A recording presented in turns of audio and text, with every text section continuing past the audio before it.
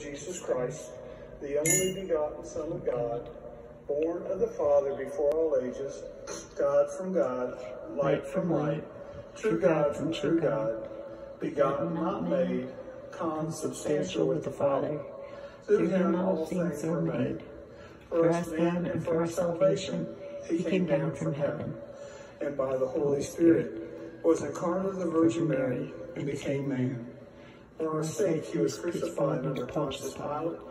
He suffered death and was buried, and rose again on the third day, in accordance with the Scriptures. He ascended into heaven, and is seated at the right hand of the Father.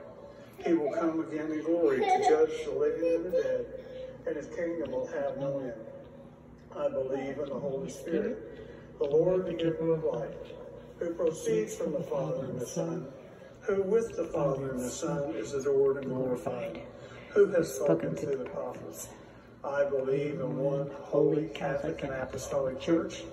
I confess one baptism for the forgiveness of sins, and look forward to the resurrection of the dead and the life of the world to come. Amen. Just as we know the voice of the Good Shepherd, we trust that God knows our voice and responds to our prayers. And so we gather together our needs and the needs of the whole world. For the church, that we may find ways to both preach the word and serve our neighbor, let us pray to the Lord. Lord, hear our prayer.